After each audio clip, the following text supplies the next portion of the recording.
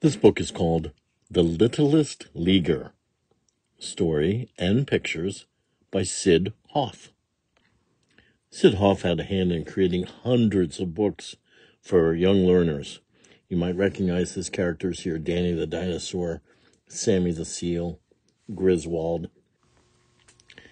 This book, The Littlest Leaguer, has some funny parts, but it's also a serious story. It's about a young boy learning to play baseball. Of all the players in the Little League, Harold was the littlest.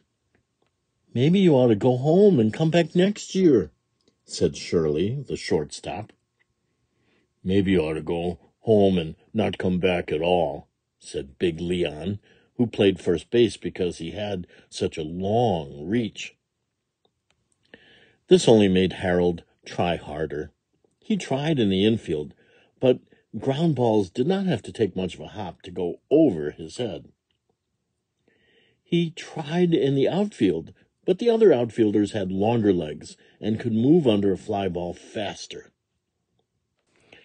Harold tried to make up for all of this as a hitter, but there seemed to be no bat light enough for him, and balls zoomed past him before he could swing. Oh, please don't feel badly, but I'm afraid there's only one place I can put you, said Mr. Lombardo, the coach. He put Harold on the bench. Harold sat there, game after game, wearing out the seat of his pants. Sometimes he took care of the team's bats. Sometimes he brought them cold drinks. I'm tired of being so little, thought Harold, and he stayed out in the rain when a game was stopped, hoping it would make him grow like the flowers. All it did was make him wet.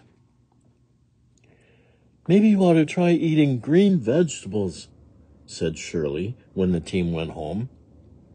Better still, try forgetting where we play, said Big Leon.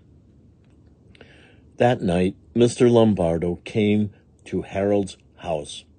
He knew his littlest leaguer needed cheering up. You're letting your size bother you. There have been many great baseball players who were not tall, said the coach. And Harold's father agreed with him.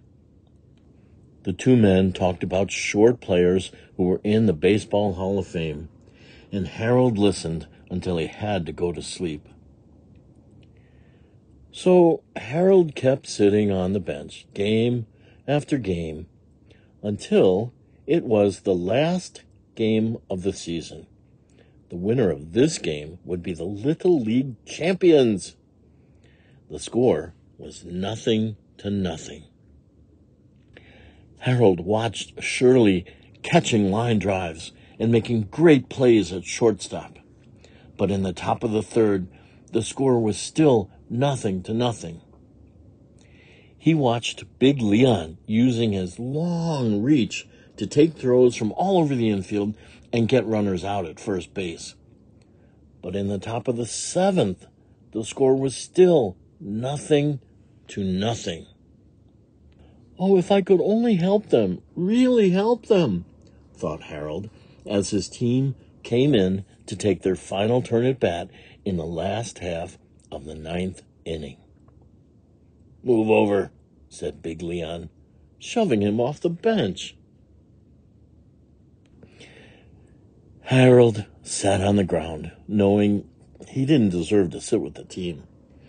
He just kept sitting there, thinking of all those short players in the Baseball Hall of Fame. Then, with two out, the next three batters got infield hits, and Harold's team had the bases loaded.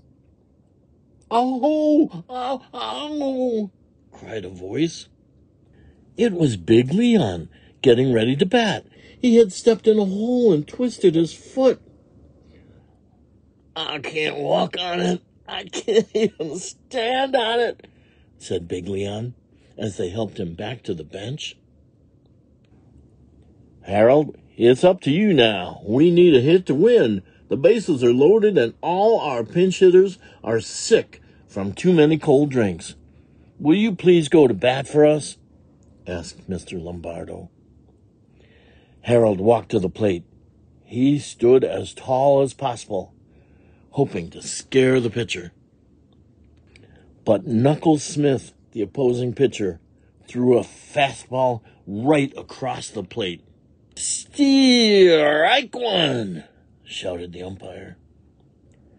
Knuckles wound up and pitched again. This time he threw his curve.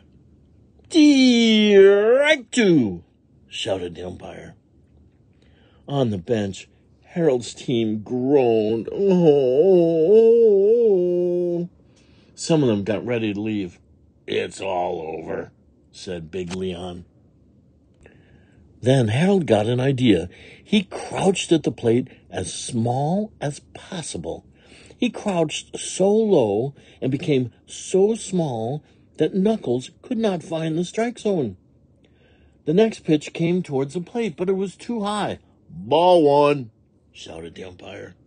Knuckles threw again and again, but one pitch was too low and the other was too wide. The count was three balls and two strikes.